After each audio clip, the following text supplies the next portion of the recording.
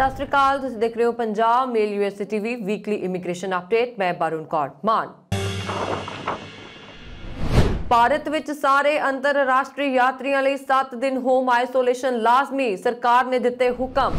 ਵਿਸਾਖੀ ਮੌਕੇ ਪਾਕਿਸਤਾਨ ਜਾਣ ਲਈ ਸ਼ਰਧਾਲੂ ਹੁਣ 20 ਜਨਵਰੀ ਤੱਕ ਜਮ੍ਹਾਂ ਕਰਵਾ ਸਕਦੇ ਨੇ ਪਾਸਪੋਰਟ। ਯੂਏਈ ਨੇ ਯਾਤਰਾ ਸੰਬੰਧੀ ਨਵੇਂ ਦਿਸ਼ਾ ਨਿਰਦੇਸ਼ ਕੀਤੇ ਜਾਰੀ 10 ਜਨਵਰੀ ਤੋਂ ਨਿਯਮ ਲਾਗੂ। ਇੰਗਲੈਂਡ ਵਿੱਚ ਭਾਰਤੀਆਂ ਲਈ ਵੀਜ਼ਾ ਨਿਯਮਾਂ ਵਿੱਚ ਢਿੱਲ ਨਹੀਂ, ਪ੍ਰਧਾਨ ਮੰਤਰੀ ਬੋਰਿਸ ਜੌਨਸਨ ਦਾ ਬਿਆਨ। ਕੈਨੇਡਾ ਦਾ ਜਹਾਜ਼ ਚੜਨ ਲਈ ਸੰਘਰਸ਼ ਕਰ ਰਹੇ ਨੇ 18 ਲੱਖ ਤੋਂ ਵੱਧ ਪ੍ਰਵਾਸੀ। ਹਾਂਗਕਾਂਗ ਵੱਲੋਂ ਭਾਰਤ ਸਣੇ 8 ਮੁਲਕਾਂ ਦੀਆਂ ਹਵਾਈ ਉਡਾਣਾਂ ਤੇ ਰੋਕ। ਅੰਮ੍ਰਿਤਸਰ 에ਅਰਪੋਰਟ ਤੇ ਮੁੜ ਹਫੜਾ ਦਫੜੀ ਦੂਜੇ ਦਿਨ ਵੀ ਇਟਲੀ ਤੋਂ ਪਰਤੇ ਫਲਾਈਟ ਦੇ 175 ਯਾਤਰੀ ਮਿਲੇ ਕਰੋਨਾ ਪੋਜ਼ਿਟਿਵ। ਇਟਲੀ ਤੋਂ ਚਾਰਟਰਡ ਫਲਾਈਟ ਰਾਹੀਂ ਪੰਜਾਬ ਆਉਣ ਵਾਲੇ 13 ਕਰੋਨਾ ਪੋਜ਼ਿਟਿਵ ਯਾਤਰੀ ਹਸਪਤਾਲ ਤੋਂ ਫਰਾਰ, ਪਾਸਪੋਰਟ ਹੋਣਗੇ ਰੱਦ। ਦਿੱਲੀ ਪੋਰਟ ਬਲੇਅਰ ਰੂਟ ਤੇ ਇੰਡੀਗੋ ਫਿਰ ਤੋਂ ਸ਼ੁਰੂ ਕਰ ਰਹੀ ਉਡਾਣ। ਯਾਤਰੀਆਂ ਲਈ ਅਗਾਊਂ ਪੀਸੀਆਰ ਟੈਸਟ ਤੋਂ ਛੋਟ ਦੇਣ ਤੇ ਵਿਚਾਰ ਕਰ ਰਿਹਾ ਇੰਗਲੈਂਡ। ਅਮਰੀਕਾ ਤੋਂ ਬਿਨਾਂ ਟੀਕਾਕਰਨ ਆਉਣ ਵਾਲੇ ਲੋਕਾਂ ਨੂੰ ਰਹਿਣਾ ਹੋਏਗਾ ਇਕਾਂਤਵਾਸ ਵਿੱਚ ਫਰਾਂਸ। ਤੁਸੀਂ ਦੇਖ ਰਹੇ ਹੋ ਵੀਕਲੀ ਇਮੀਗ੍ਰੇਸ਼ਨ ਅਪਡੇਟ ਭਾਰਤ ਵਿੱਚ ਕਰੋਨਾ ਦੇ ਵੱਧਦੇ ਮਾਮਲੇ ਤੀਜੀ ਲਹਿਰ ਨੂੰ ਦਸਤਕ ਦਿੰਦੇ ਨਜ਼ਰ ਆ ਰਹੇ ਨੇ। ਇਸ ਦੇ ਨਾਲ ਇਸ ਦੇ ਨਵੇਂ ਵੇਰੀਐਂਟ ਓਮਿਕਰੋਨ ਨੇ ਕਰੋਨਾ ਦਾ ਖਤਰਾ ਕਈ ਗੁਣਾ ਵਧਾ ਦਿੱਤਾ ਹੈ, ਜਿਸ ਕਾਰਨ ਸਰਕਾਰ ਕਾਫੀ ਚਿੰਤਿਤ ਹੈ। ਸਰਕਾਰ ਕਰੋਨਾ ਦੇ ਵੱਧ ਰਹੇ ਮਾਮਲਿਆਂ ਨਾਲ ਨਜਿੱਠਣ ਲਈ ਲਗਾਤਾਰ ਦਿਸ਼ਾ ਨਿਰਦੇਸ਼ ਜਾਰੀ ਕਰ ਰਹੀ ਹੈ। ਇਸ ਕੜੀ ਵਿੱਚ ਇੱਕ ਹੋਰ ਵੱਡਾ ਫੈਸਲਾ ਲਿਆ ਗਿਆ। ਕਰੋਨਾ ਦੇ ਵੱਧਦੇ ਮਾਮਲਿਆਂ ਦੇ ਮੱਦੇਨਜ਼ਰ ਸਰਕਾਰ ਨੇ ਵਿਦੇਸ਼ ਤੋਂ ਆਉਣ ਵਾਲੇ ਸਾਰੇ ਇੰਟਰਨੈਸ਼ਨਲ ਪੈਸੇਂਜਰਸ ਲਈ 7 ਦਿਨਾਂ ਦਾ ਹੋਮ ਆਈਸੋਲੇਸ਼ਨ ਲਾਜ਼ਮੀ ਕਰ ਦਿੱਤਾ ਹੈ। ਜਾਣਕਾਰੀ ਅਨੁਸਾਰ 7 ਦਿਨ ਹੋਮ ਆਈਸੋਲੇਸ਼ਨ ਵਿੱਚ ਰਹਿਣ ਤੋਂ ਬਾਅਦ 8ਵੇਂ ਦਿਨ ਇਹਨਾਂ ਲੋਕਾਂ ਦਾ ਆਰਟੀਪੀਸੀਆਰ ਟੈਸਟ ਕੀਤਾ ਜਾਏਗਾ। ਸਰਕਾਰ ਵੱਲੋਂ ਜਾਰੀ ਹੁਕਮਾਂ ਵਿੱਚ ਕਿਹਾ ਗਿਆ ਕਿ ਨਵੀਂ ਸਟੈਂਡਰਡ ਆਪਰੇਟਿੰਗ ਪ੍ਰਕਿਰਿਆ 11 ਜਨਵਰੀ ਤੋਂ ਅਗਲੇ ਹੁਕਮਾਂ ਤੱਕ ਲਾਗੂ ਰਹੇਗੀ। ਦਰਅਸਲ, ਕਰੋਨਾ ਦੇ ਜਿਹੜੇ ਮਾਮਲੇ ਸਾਹਮਣੇ ਆ ਰਹੇ ਨੇ, ਉਹਨਾਂ ਵਿੱਚੋਂ ਜ਼ਿਆਦਾਤਰ ਵਿਦੇਸ਼ ਯਾਤਰਾ ਕਰਕੇ ਵਾਪਸ ਆਉਣ ਵਾਲੇ ਨੇ। ਅਜਿਹੇ 'ਚ ਸਰਕਾਰ ਨੇ ਕਰੋਨਾ ਦੇ ਮਾਮਲਿਆਂ ਤੇ ਰੋਕ ਰਕਾਉਣ ਲਈ ਇਹ ਫੈਸਲਾ ਲਿਆ ਹੈ। ਜਾਰੀ ਹੁਕਮਾਂ ਦੇ ਅਨੁਸਾਰ ਭਾਰਤ ਦੀ ਯਾਤਰਾ ਕਰਨ ਦੀ ਯੋਜਨਾ ਬਣਾ ਰਹੇ ਸਾਰੇ ਲੋਕਾਂ ਨੂੰ ਪਹਿਲਾਂ ਆਨਲਾਈਨ 에ਅਰ ਸੁਵਿਧਾ ਪੋਰਟਲ ਤੇ ਸਵੈ ਘੋਸ਼ਣਾ ਫਾਰਮ ਵਿੱਚ ਪੂਰੀ ਅਤੇ ਤੱਥਾਂ ਦੀ ਜਾਣਕਾਰੀ ਦੇਣੀ ਪਏਗੀ।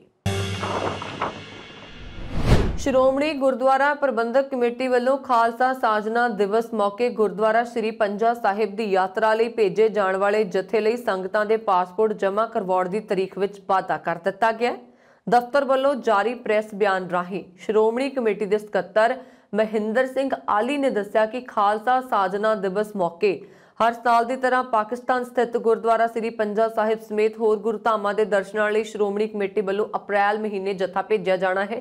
ਇਸ ਲਈ ਸ਼ਰਧਾਲੂ ਆਪਣੇ ਪਾਸਪੋਰਟ 20 ਜਨਵਰੀ 2022 ਤੱਕ ਸ਼੍ਰੋਮਣੀ ਗੁਰਦੁਆਰਾ ਪ੍ਰਬੰਧਕ ਕਮੇਟੀ ਸ੍ਰੀ ਅੰਮ੍ਰਿਤਸਰ ਦੇ ਮੁੱਖ ਦਫ਼ਤਰ ਵਿਖੇ ਯਾਤਰਾ ਵਿਭਾਗ ਵਿੱਚ ਭੇਜ ਸਕਦੇ ਨੇ।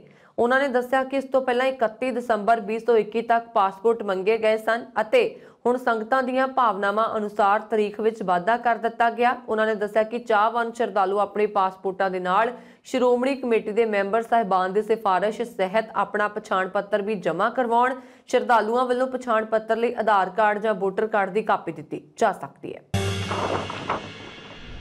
ਕਰੋਨਾ ਵਾਇਰਸ ਦੇ ਨਵੇਂ ਰੂਪ ਓਮਿਕਰੋਨ ਵੇਰੀਐਂਟ ਨੇ ਦੁਨੀਆ ਭਰ ਵਿੱਚ ਦਹਿਸ਼ਤ ਦਾ ਮਾਹੌਲ ਪੈਦਾ ਕੀਤਾ ਹੋਇਆ। ਇਸ ਵਿਚਾਰ ਸੰਯੁਕਤ ਅਰਬ ਅਮੀਰਾਤ ਨੇ ਕੋਵਿਡ ਵੈਕਸੀਨ ਨਾ ਲੈਣ ਵਾਲੇ ਆਪਣੇ ਨਾਗਰਿਕਾਂ ਤੇ ਪਾਬੰਦੀ ਲਗਾਉਣ ਦਾ ਐਲਾਨ ਕੀਤਾ ਹੈ। ਇਸ ਦੇ ਨਾਲ ਹੀ ਇੰਟਰਨੈਸ਼ਨਲ ਯਾਤਰੀਆਂ ਲਈ ਪੀਸੀਆਰ ਟੈਸਟ ਕਰਵਾਉਣਾ ਲਾਜ਼ਮੀ ਕਰ ਦਿੱਤਾ ਹੈ। ਇਹ ਨਿਯਮ 10 ਜਨਵਰੀ ਤੋਂ ਲਾਗੂ ਹੋਣਗੇ। ਨਿਊਜ਼ ਏਜੰਸੀ WAM ਨੇ ਸ਼ਨੀਵਾਰ ਨੂੰ ਵਿਦੇਸ਼ ਮੰਤਰਾਲੇ ਅਤੇ ਰਾਸ਼ਟਰੀ ਸੰਕਟਕਾਲੀਨ ਸੰਕਟ ਅਤੇ ਆਫਤ ਪ੍ਰਬੰਧਨ ਅਥਾਰਟੀ ਦਾ ਹਵਾਲਾ ਦਿੰਦੇ ਹੋਏ ਕਿਹਾ ਕਿ ਜਿਨ੍ਹਾਂ ਲੋਕਾਂ ਨੇ ਹੁਣ ਤੱਕ ਕਰੋਨਾ ਵੈਕਸੀਨ ਦੀਆਂ ਦੋਵੇਂ ਡੋਜ਼ ਨਹੀਂ ਲਗਵਾਈਆਂ, ਉਹਨਾਂ ਨੂੰ ਵਿਦੇਸ਼ ਯਾਤਰਾ ਦੀ ਆਗਿਆ ਨਹੀਂ ਦਿੱਤੀ ਜਾਏਗੀ ਅਤੇ ਇਹ ਪਾਬੰਦੀ 10 ਜਨਵਰੀ ਤੋਂ ਲਾਗੂ ਹੋਏਗੀ। ਇਸ ਤੋਂ ਇਲਾਵਾ ਪੂਰੀ ਤਰ੍ਹਾਂ ਟੀਕਾਕਰਨ ਕਰਨ ਵਾਲੇ ਨਾਗਰਿਕਾਂ ਨੂੰ ਯਾਤਰਾ ਕਰਨ ਦੇ ਯੋਗ ਹੋਣ ਲਈ ਇੱਕ ਬੂਸਟਰ ਡੋਜ਼ ਦੀ ਵੀ ਲੋੜ ਹੋਏਗੀ। ਅਜਿਹੀ ਸਥਿਤੀ ਵਿੱਚ ਲੋਕਾਂ ਨੂੰ ਵੈਕਸੀਨ ਦੀਆਂ ਦੋ ਖੁਰਾਕਾਂ ਲੈਣ ਤੋਂ ਬਾਅਦ ਵੀ ਤੀਜੀ ਖੁਰਾਕ ਲੈਣੀ ਜ਼ਰੂਰੀ ਹੈ। ਇਹ ਪਾਬੰਦੀ ਮੈਡੀਕਲ ਜਾਂ ਮਾਨਵਤਾਵਾਦੀ ਛੋਟਾਂ ਵਾਲੇ ਲੋਕਾਂ ਤੇ ਲਾਗੂ ਨਹੀਂ ਹੋਏਗੀ। ਇਹ ਯੂਏਈ ਦੇ ਪ੍ਰਸ਼ਾਸਨ ਦੁਆਰਾ ਨਿਰਧਾਰਤ ਕੀਤਾ ਜਾਏਗਾ। ਦੁਬਈ ਇੰਟਰਨੈਸ਼ਨਲ ਹਵਾਈ ਅੱਡਾ ਹੁਣ ਕੁਝ ਉਡਾਣਾਂ ਵਿੱਚ ਆਉਣ ਵਾਲੇ ਯਾਤਰੀਆਂ ਦਾ ਰੈਂਡਮ ਪੀਸੀਆਰ ਟੈਸਟ ਕਰੇਗਾ। ਨਵੇਂ ਆਦੇਸ਼ ਮੁਤਾਬਕ ਬ੍ਰਾਜ਼ੀਲ, ਭਾਰਤ, ਬੰਗਲਾਦੇਸ਼ ਰੂਸ ਅਤੇ ਪਾਕਿਸਤਾਨ ਵਰਗੇ ਕੁਝ ਦੇਸ਼ਾਂ ਤੋਂ ਆਉਣ ਵਾਲੇ ਯਾਤਰੀਆਂ ਨੂੰ ਲਾਜ਼ਮੀ ਟੈਸਟਿੰਗ ਤੋਂ ਲੰਘਣਾ ਹੋਏਗਾ।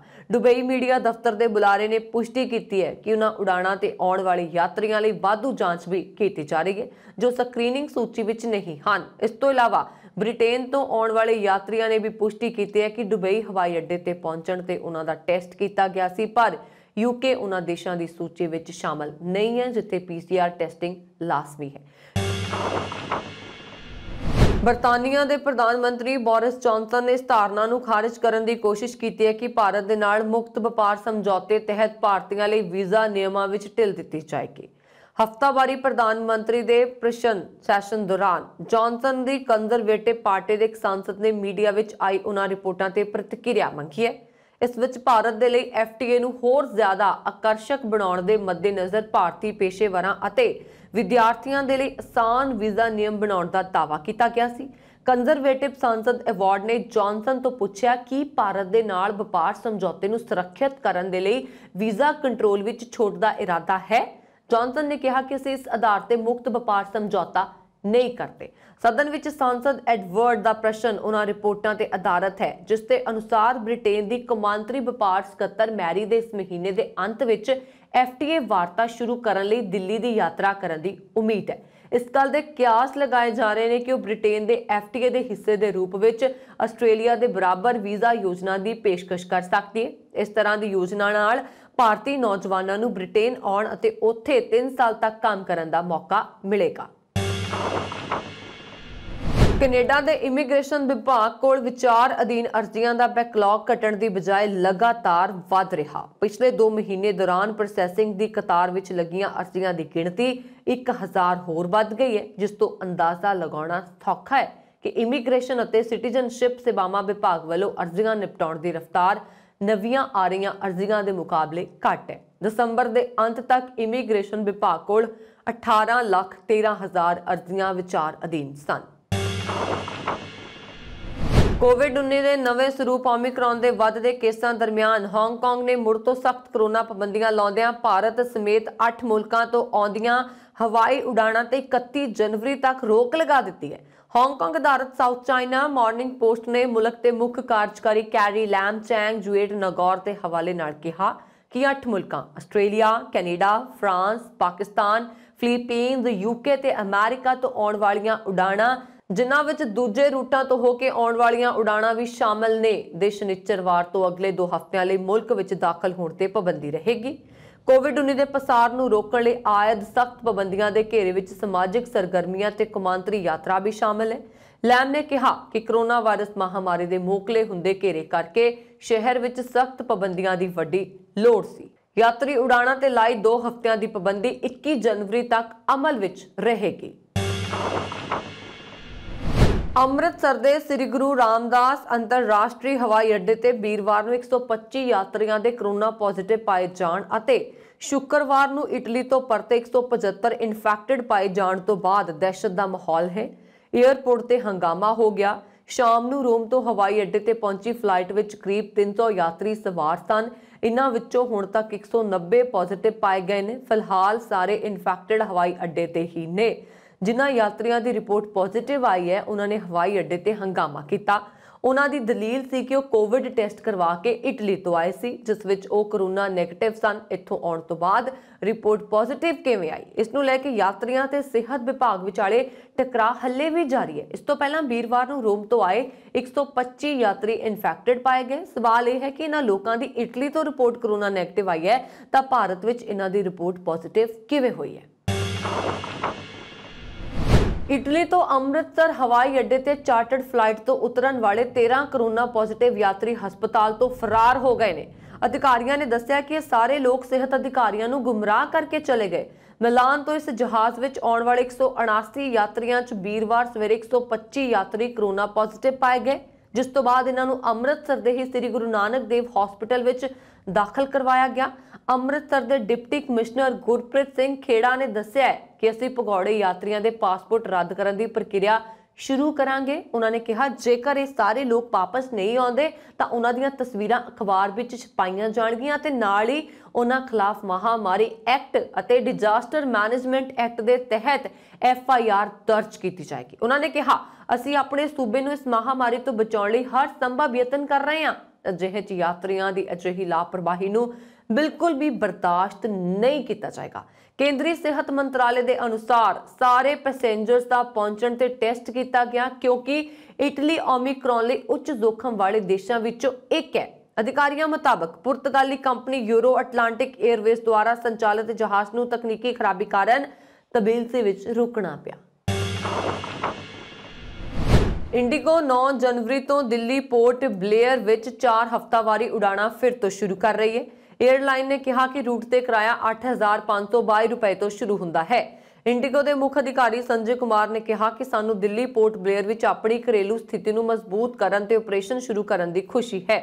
ਵਰਤਮਾਨ ਵਿੱਚ ਇੰਡੀਗੋ ਕੋਲ 275 ਤੋਂ ਵਧੇਰੇ ਜਹਾਜ਼ਾਂ ਦਾ ਬੇੜਾ ਹੈ ਅਤੇ ਇਹ 71 ਘਰੇਲੂ ਤੇ 24 ਇੰਟਰਨੈਸ਼ਨਲ ਡੈਸਟੀਨੇਸ਼ਨ ਨੂੰ ਜੋੜਨ ਵਾਲੀ 1500 ਤੋਂ ਵਧੇਰੇ ਰੋਜ਼ਾਨਾ ਦੀਆਂ ਉਡਾਣਾਂ ਨੂੰ ਚਲਾਉਂਦੀ ਹੈ। ਇਸ ਦੇ ਨਾਲ ਹੀ ਇੰਡੀਗੋ ਨੇ ਦਿੱਲੀ, ਬੰਬਈ ਤੇ ਪੱਛਮੀ ਬੰਗਾਲ ਦੇ ਤਿੰਨ ਮੁੱਖ ਹਵਾਈ ਅੱਡਿਆਂ ਵਿਚਕਾਰ ਆਪਣੀਆਂ ਕੁਝ ਉਡਾਣਾਂ ਨੂੰ ਸਥਾਪਿਤ ਕਰਨ ਦੀ ਘੋਸ਼ਣਾ ਕੀਤੀ ਹੈ। ਇਸ ਵਿੱਚ ਕਲਕੱਤਾ, ਦੁਰਗਾਪੁਰ ਤੇ ਬਾਗਡੋਗਰਾ 에ਅਰਪੋਰਟ ਸ਼ਾਮਲ ਹੈ। ਇਸ ਤੋਂ ਪਹਿਲਾਂ ਦਸੰਬਰ 'ਚ ਡੀਜੀਸੀਏ ਨੇ ਘੋਸ਼ਣਾ ਕੀਤੀ ਸੀ ਕਿ ਭਾਰਤ ਤੋਂ ਬਿਜ਼ਨਸ ਇੰਟਰਨੈਸ਼ਨਲ ਉਡਾਣਾਂ 31 ਜਨਵਰੀ ਨੂੰ ਓਮਿਕਰੋਨ ਵੈਰੀਐਂਟ ਦੇ ਵੱਧਦੇ ਡਰ ਤੋਂ ਫਿਰ ਤੋਂ ਸ਼ੁਰੂ ਹੋਏਗੀ। ਇਸ ਤੋਂ ਪਹਿਲਾਂ ਡੀਜੀਸੀਏ ਨੇ ਕਿਹਾ ਸੀ ਕਿ ਤੈਅ ਉਡਾਣਾਂ 15 ਦਸੰਬਰ ਤੋਂ ਸ਼ੁਰੂ ਹੋਣਗੀਆਂ। ਪਰ ਬਾਅਦ ਵਿੱਚ ਇਸ ਆਦੇਸ਼ ਵਿੱਚ ਸੁਧਾਰ ਕੀਤਾ ਗਿਆ, ਜਦੋਂ ਕੋਵਿਡ ਦੇ ਨਵੇਂ ਵੈਰੀਐਂਟ ਕਾਰਨ ਇੱਕ ਹੋਰ ਲਹਿਰ ਤੇ ਚਿੰਤਾ ਜਤਾਈ ਗਈ। ਇਸ ਤੋਂ ਇੱਕ ਮਹੀਨਾ ਪਹਿਲਾਂ ਕੇਂਦਰ ਨੇ ਅੰਤਰਰਾਸ਼ਟਰੀ ਉਡਾਣਾਂ ਨੂੰ ਨਾਰਮਲ ਕਰਨ ਦਾ ਫੈਸਲਾ ਕੀਤਾ ਸੀ, ਜੋ ਮਾਰਚ 2020 ਤੋਂ ਰੱਦ ਹੈ। ਇੰਗਲੈਂਡ ਆਉਣ ਵਾਲੇ ਵਿਦੇਸ਼ੀ ਯਾਤਰੀਆਂ ਨੂੰ ਅਗਾਊਂ ਪੀਸੀਆਰ ਟੈਸਟ ਕਰਵਾਉਣ ਤੇ ਛੋਟ ਦੇਣ ਤੇ ਸਰਕਾਰ ਵੱਲੋਂ ਵਿਚਾਰ ਕੀਤੀ ਜਾ ਰਹੀ ਹੈ। ਸੂਤਰਾਂ ਅਨੁਸਾਰ ਸਰਕਾਰ ਵੱਲੋਂ ਇਹ ਫੈਸਲਾ ਇਸ ਹਫ਼ਤੇ ਦੌਰਾਨ ਲਿਆ ਜਾ ਸਕਦਾ ਸੀ, ਕਿਉਂਕਿ ਮਾਇਰਾ ਅਨੁਸਾਰ ਪੂਰੀ ਤਰ੍ਹਾਂ ਟੀਕਾਕਰਨ ਕਰਵਾ ਚੁੱਕੇ ਲੋਕਾਂ ਲਈ ਓਮਿਕਰੌਨ ਵੈਰੀਐਂਟ ਘਾਤਕ ਨਹੀਂ ਹੈ। ਭਾਵੇਂ ਯੂਕੇ ਵਿੱਚ ਕਰੋਨਾ ਵਾਇਰਸ ਦੇ ਰੋਜ਼ਾਨਾ ਮਾਮਲੇ ਲੱਖ ਤੋਂ ਵੱਧ ਸਾਹਮਣੇ ਆ ਰਹੇ ਨੇ, ਪਰ ਇਸ ਦੌਰਾਨ ਸਰਕਾਰ ਨੇ ਕਿਹਾ ਕਿ ਅਜੇ ਹੋਰ ਪਾਬੰਦੀਆਂ ਲਗਾਉਣ ਦਾ ਕੋਈ ਇਰਾਦਾ ਨਹੀਂ।